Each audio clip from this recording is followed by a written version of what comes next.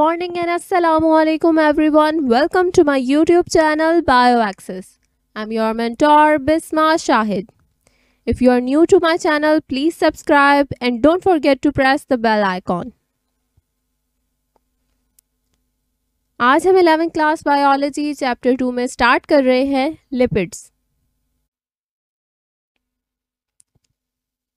lipids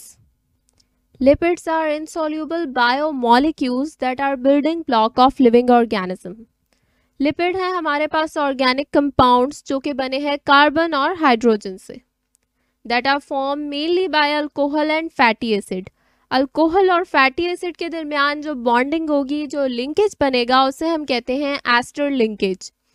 जैसे carbohydrate के दरमियान लिंकेज को हम कहते हैं ग्लाइकोसाइडिक लिंकेज प्रोटीन्स के अंदर हम कहते हैं पैप्टाइड लिंकेज उसी तरह लिपिड्स के अंदर ये है ester linkage it is insoluble in water ये हमारे पास बेसिकली होते हैं ऑयल और घी की तरह के सब्सटेंसेस जो कि पानी के अंदर डिज़ोल्व नहीं हो सकते. जबकि ये डिज़ोल्व होते हैं पोलर सॉल्वेंट्स में लाइक ईथर एंड अल्कोहल बहुत से फ़ूड सोर्सेस में पाए जाते हैं लिपिड्स जिसमें चिकन बीफ मटन और बहुत ज़्यादा प्लांट सोर्सेज हैं पल्सेस में बीन्स में। अब नेक्स्ट है हमारे पास लिपिड्स को हम यूज़ कर सकते हैं बॉडी में as a source of energy first source of energy तो हमारे पास है कार्बोहाइड्रेट से दैट इज़ ग्लूकोज लेकिन अगर हम फास्टिंग पे हैं या कोई और वजह है तो हमारे पास ग्लूकोज अवेलेबल नहीं है तो हम इस केस में लिपिड्स को भी यूज़ कर सकते हैं as a source of energy body के अंदर हमारे पास एक फ़ैट की लेयर होती है स्किन में, जिसे हम कहते हैं सबक्यूटेनियस फैट ये यूज़ होता है एज एन इंसुलेटर जो बॉडी का टेम्परेचर मेंटेन रखता है और एक्सेस वाटर को एवेपोरेट होने से भी बचाता है.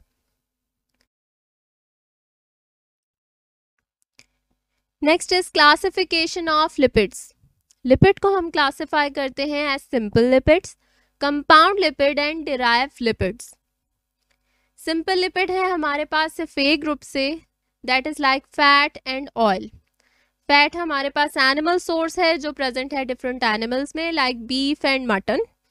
oil है प्लांट सोर्स जो कि पल्सेस और बीन्स में पाया जाता है, ये है लिक्विड इन नेचर फैट और ऑयल हमारे पास सिंपल भी हो सकते हैं और मिक्स्ड भी. नेक्स्ट इज़ वैक्सेस वैक्सेस हमारे पास हैं sticky lipids that are present as a protective coating जैसे कि फ्रूट के ऊपर या लीव्स के ऊपर। अब आ जाते हैं कंपाउंड लिपिड्स ये बनते हैं दो ग्रुप के कॉम्बिनेशन से that is called compound phospholipid phospho means phosphoric acid अगर लिपिड के साथ कंबाइन करता है तो हम इसे कहते हैं फॉस्फोलिपिड लिपिड में हमारे पास है फैटी एसिड एंड ग्लाइसरोल वो मिलता है फॉस्फोरिक एसिड के साथ और एक फॉस्फोलिपिड का मॉलिक्यूल बन जाता है। Next is glycolipid. Glyco is for carbohydrate, जब ये लिपिड के साथ मिलता है तो बनता है ग्लाइकोलिपिड।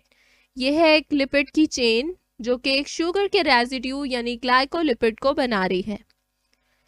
उसके बाद है सल्फोलिपिड। सल्फो मीन्स सल्फ़र का एक ग्रुप ऐड किया जाता है लिपिड्स के अंदर, जो बनाता है sulfolipid. Next is derive lipid derive lipid में हमारे पास आते हैं अल्कोहल्स फैटी एसिड स्टीरोल्स और आइसोप्रीनॉइड्स अल्कोहल और फैटी एसिड जब आपस में मिलते हैं लिंकेज बनाते हैं तो हम इसे कहते हैं साइल ग्लासरोल या फिर हम इसे कहते हैं triglycerides tri means three glycerol यानी अल्कोहल जब जुड़ते हैं फैटी एसिड के साथ तो बनता है ट्राईग्लिसराइड या फिर असाइल ग्लाइसरोल उसके बाद है स्टीरोल्स जो है कोलेस्ट्रोल जो हम आगे डिस्कस करेंगे। Isoprenoids iso mean same and prenoid mean five carbon chain अगर इसके रिपीटिंग यूनिट ज्वाइन करते हैं तो हमारे पास बन जाता है टर्पिनॉइड ये है हमारे पास one two three four and five carbon की चेन ये रिपीटिंग यूनिट के साथ अगर ज्वाइन करती जाएगी, एक लंबा सा हमारे पास चेन बना देगी तो हम इसे कहेंगे टर्पिनॉइड्स जबकि कैरेटिनॉइड हमारे पास प्रेजेंट है येलो ग्रीन और रेड किस्म की वेजिटेबल या फ्रूट में. ये हमारे पास एंटीऑक्सीडेंट है, जो हमें बचाते हैं, जो भी रेडिकल हैं फ्री बॉडी में, उनके कहीं भी जुड़ जाने से. Next is fatty acid fatty acid consist of straight chain of even number of carbon atoms with hydrogen atom कि हमारे पास स्ट्रेट चेन है कार्बन एटम की, जिसके साइड पर लगे हैं हाइड्रोजन के एटम्स और सिर्फ़ एक साइड पे है carboxyl group that is like this fatty acid को हम क्लासिफाई करते हैं as saturated fat and unsaturated fat saturated fat में हमारे पास सब सिंगल बॉन्ड है और ये है सॉलिड इन नेचर जैसे कि एनिमल फैट बटर और लैड में। जबकि अनसेचुरेटेड फैट हमारे पास प्लांट सोर्स से है, जो है ऑयल्स और है लिक्विड इन नेचर इसमें है स्पेशली डबल बॉन्डिंग इसमें आ जाते हैं पॉली अनसेचुरेटेड फैट या mono unsaturated fat mono is for one कि इसमें वन डबल बॉन्ड है या फिर पॉली मीन्स मैनी अनसेचुरेटेड इसमें मैनी डबल बॉन्ड्स हैं। मोनो अनसेचुरेटेड में है ओमेगा नाइन फैटी एसिड और पॉली अनसेचुरेटेड में आते हैं ओमेगा थ्री एंड सिक्स जो कि डिफरेंट प्लांट सोर्सेज में पाए जाते हैं। Next is nomenclature nomenclature है टर्म नेमिंग से। जैसे कि है IUPAC international union of pure and applied chemistry. ये हमारे पास एक कमेटी है, एक ऑर्गेनाइजेशन है, जो कि डिफरेंट एलिमेंट कंपाउंड या ग्रुप्स को नेम करती है, उन्हें एक नाम देती है। जैसे कि फैटी एसिड है, इसके लिए हमारे पास है सफिक्स जो कि है ओ आई सी या बहुत कॉमनली यूज़ होता है आई सी फैटी एसिड के एग्ज़ाम्पल में है एसिटिक एसिड इसमें है सफिक आई सी उसी तरह प्रोपोनिक एसिड में है सफिक आई सी एंड सो ओन अब हमारे पास एक फैटी एसिड के अंदर होता है कार्बोक्सिलिक ग्रुप और सेकेंडली होते हैं कार्बन एटम के साथ अटैच्ड हाइड्रोजन एटम्स अगर एसिटिक एसिड है तो हमारे पास होंगे दो कार्बन एटम्स दो कार्बन की चेन है तो हम इसे कहेंगे एसिटिक एसिड अगर कार्बन एटम थ्री है that is for word propa means three तो हम इसे कहेंगे propionic acid but is a word for four तो कार्बन एटम फोर होंगे तो कहेंगे ब्यूटायरिक एसिड इसी तरह C five for valeric acid C sixteen for palmitic acid and C eighteen for stearic या oleic acid next is waxes waxes है sticky lipids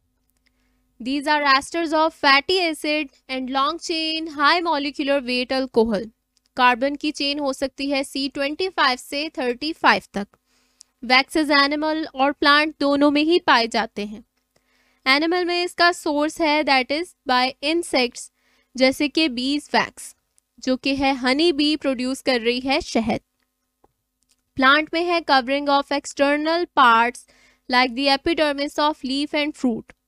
ये हमारे पास प्लांट के ऊपर की एक एपिडर्मिस की लेयर है, जिसे हम कहते हैं क्यूटिकल बनी है वैक्स से जिसकी वजह से ये बचाती है, हमें प्रिवेंट करती है फ्रॉम एक्सेस वाटर लॉस अब नेक्स्ट है हमारे पास soy wax that is from soybean oil bayberry wax from bayberry shrub और castor wax that is from castor oil और भी डिफरेंट टाइप के वैक्सेस हैं प्लांट्स में. Next is triglyceride triglyceride is a tri ester जो कि है secondary source of energy in the body that can be use in the event when there is no enough sugar हमारे पास primary source of energy है glucose अगर glucose किसी भी वजह से अवेलेबल नहीं है स्टार्विंग है या फास्टिंग पे है इंसान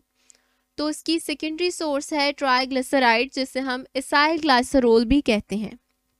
इसमें हमारे पास ग्लाइसरोल, जो कि है एक अल्कोहल कंबाइन करता है थ्री फैटी एसिड की चेन से, और इनके दरमियान बॉन्डिंग होती है, जिसे हम कहते हैं एस्टर लिंकेज यहाँ पे अब ऑक्सीजन है O H group of alcohol combine करता है इसका hydrogen with O H of fatty acid यहाँ पे थ्री वाटर के मॉलिक्यूल यानी H two O H two O और एच टू ओ यहाँ से रिमूव होंगे। थ्री वाटर मॉलिक्यूल के रिमूव होने के बाद फैटी एसिड का कार्बन और ग्लाइसरोल यानी अल्कोहल का कार्बन इस ऑक्सीजन के साथ लिंकेज बना देगा that is C O C linkage called triester linkage क्योंकि ये थ्री लिंकेज बन रहे हैं, इसीलिए हम इसे कहेंगे ट्राई एस्टर लिंकेज और ये ट्राइग्लिसराइड लिंकेज या try ester linkage basic linkage है ऑफ़ लिपिड्स नेक्स्ट है हमारे पास फॉस्फोलिपिड फॉस्फोरिक एसिड या फॉस्फो ग्रुप हमारे पास अगर लिपिड के साथ कंबाइन करता है तो हम इसे कहते हैं phospholipid. It is a derivative of phosphatidic acid जो कि बना है glycerol fatty acid and phosphoric acid से। अब जो फॉस्फोलिपिड है, उसके अंदर है फॉस्फोरिक एसिड ग्रुप जो कि बना है हाइड्रोफोबिक और हाइड्रोफिलिक पार्ट से। हाइड्रोफोबिक का मतलब है जो कि वाटर को अपने अंदर से गुजरने नहीं देता, जबकि हाइड्रोफिलिक इज़ वाटर फ्रेंडली ये हमारे पास बेसिकली फॉस्फोलिपिड मॉलिक्यूल बना रहा है लिपिड बायलेयर जो कि सेल मेम्ब्रेन का स्ट्रक्चर बनाती हैं। अब हमारे पास जो फॉस्फोलिपिड है, वो बेसिकली नाइट्रोजनस बेसिस से बनी है कॉलिन एथेनोलामीन या सीरीन ये हमारे पास इम्पोर्टेंट कंपोनेंट है फॉस्फोलिपिड के, जो कि प्रेजेंट हैं डिफरेंट प्लांट्स में बैक्टीरियाज में या एनिमल्स में। अब जो फॉस्फोलिपिड है, उसके अंदर है फॉस्फेट ग्रुप वो कंबाइन करता है ग्लाइसरोल के हेड के साथ तो बनता है हाइड्रोफिलिक हाइड्रोफिलिक पार्ट है हमारे पास, ये है हेड और नीचे का है इसका टेल अब टेल बनी है हाइड्रोफिलिक चेन से। जबकि हेड बना है फैटी एसिड से। फैट हमें पता है अपने अंदर से वाटर को नहीं पास आउट होने देते, ये हमारी बॉडी के इंसुलेटर हैं। इसलिए जो फैटी एसिड के हमारे पास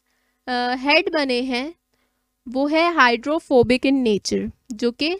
हमारे पास सेल मेम्ब्रेन का और डिफरेंट मेम्ब्रेन्स का स्ट्रक्चर बना रहे हैं बॉडी में, जिसकी वजह से जो वाटर है बॉडी के अंदर, वो स्टोर है इंसुलेट हो जाता है।